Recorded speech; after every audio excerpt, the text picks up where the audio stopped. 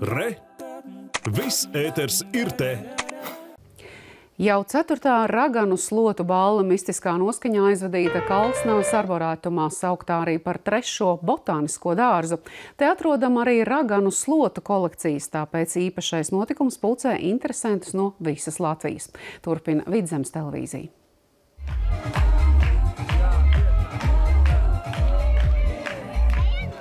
Koši tērpi, patiesa jautrība, nakts aizseks un iespēja ieraudzīt Kalsnavas arborētumu naktī, tā ir raganu slotu balli, kas nu jau daudziem kļūsi par vienu no gaidītākajiem rudens pasākumiem. Slotu dancim raganu slotu balla ir katru gadu nu, nozīmīgākais pasākums, un mēs esam kopš šīs tradīcijas sākuma nu, katru gadu bijušies šeit. Mēs piedalāmies orientēšanās sacensībās, um, arī kādā atrakcijā, vienmēr izbaudam arī to koncertu un visu, kas šeit tiek piedāvāts.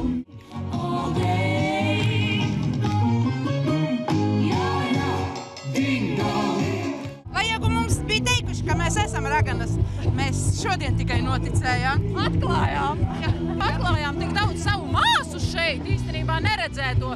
Nu, vienmēr Viņa vīramāte redzēja. Jā, godīgi, pateikšu atklāt, jā. Bija šokā, teica, ko te mājā dzīvošot. Pa vienai, pa divām un bariņos kopā ar bērniem un kungiem tālākās raganas atlidojušas pat no Liepājas. Mēs jau astoņos iesākām šo ceļojumu. Izdomājām, kas būs ļoti, ļoti pārsteidzoši un jauks.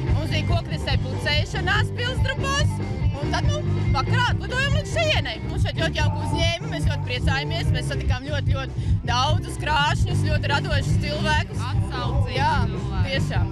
Pasakaini! Radošas nodarbes, tirdziņš un degustācijas un pašā kulminācijā tērpu skaistuma konkursu cīņā par misu un mistera godu. Taču ikdienā Kalsnavas arborētums ir dabas noslēpuma izzināšanas vieta, kas lepojas ar dažādu stādījumu kolekcijām. Neatņemama mūsu kolekcijas daļa ir raganu slotas, kas šeit aug. Raganu slota tā ir mutantā skuju koku forma, kura tiek ievākta, pavairot, ā, braukt pa visu Latviju, skatīt un lūkot, kur mēs varam ieraudzīt ā, skuju kokos ā, tādas bumbiņas, no kurām mēs varam ievākt šīs raganu slotas, lai tās attiecīgi izaudzētu šeit pie mums arborētumā.